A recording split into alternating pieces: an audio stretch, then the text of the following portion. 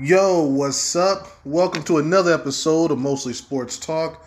I'm your host, Clarence. In today's episode, I want to talk about Mr. Scottie Pippen. But before I start, make sure you like, share, uh, comment, subscribe, all of that good stuff. Hit the notification bell so that you are aware of all of my latest content. Now, let's get on with today's topic.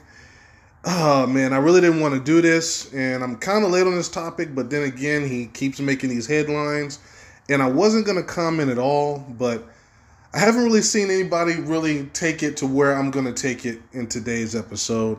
Uh, not on Fox, not on ESPN. I haven't seen any of the talking heads really uh, bring this up.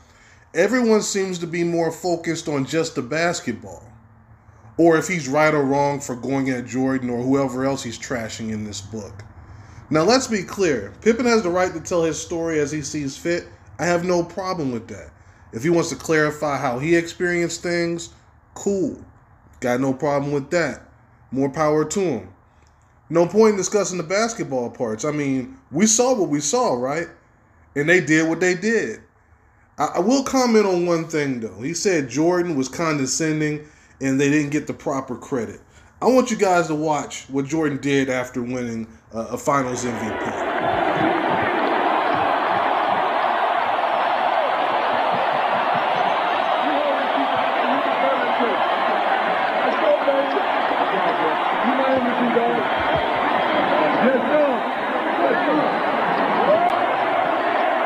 Michael, you're named MVP, but as you accepted the trophy, you said to Scottie that he was your MVP.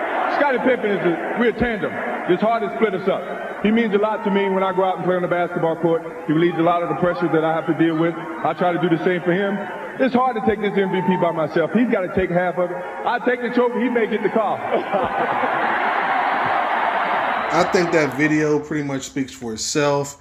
Here are some pictures of Scottie at his Hall of Fame uh, induction where he asked Jordan to present him, who he uh, who Jordan did obviously, and it looked pretty chummy right here.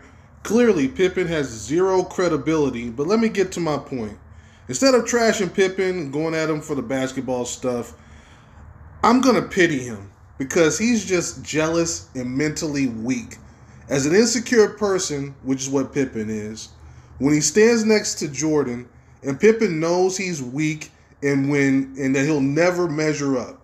So instead of accepting that, focusing on his strengths and his positives because he has some, he would rather try and take some shine off of Jordan to try and lower him down to the level and try to make himself look better. Try to make himself look just as good as Jordan or try to make us look at Jordan differently. But I got news for you, Scottie. It didn't work. In fact, a lot of us had respect for you and your game. And I still respect your game, but I have very little respect for you right now as a person. And this has nothing to do with Jordan and everything to do with Pippen and his demons. I knew they were not best friends, and that's fine. People are teammates, they don't have to be best friends. All this time, he's been smiling in Jordan's face, but secretly hating on him behind his back. He is disloyal and two faced, and that's some of the worst qualities a person can have. Now, he's going to sell some books, you know, good for him, but his hate comes with a high price. We always thought Pippen was a little mentally weak, and now he is proving to us how weak he really is. It sounds harsh, but I'm a facts over feelings type person. You tell me, what do you call someone that smiles in your face but secretly hates on you behind your back? And not because of anything you did to them, but just because of how they look standing next to you while you were just trying to do your best. All a man really has is his name, and now Pippen's name is trash. Real men address you directly if they have beef. They don't hide their feelings like some battered woman in the shadows. And I got something else to say. If you're one of these men out here that's co signing what Scottie's doing, you need to take a good look in the mirror. Real grown men don't have these female qualities. You need to man up and put on some big boy draws. With that being said, I'm going to close it out right here. Now, am I wrong? Pippen has contradicted himself so many times over the years, there's no point even getting into the basketball stuff. But what do you guys feel about the rest of it? For me, Pippen is who I thought he was. Thought he was weak on the court sometimes mentally, and now I see he's the same way off the court. But you guys let me know if I'm wrong or I'm being too harsh. Put it in the comments below, and I will see you guys next time. Peace.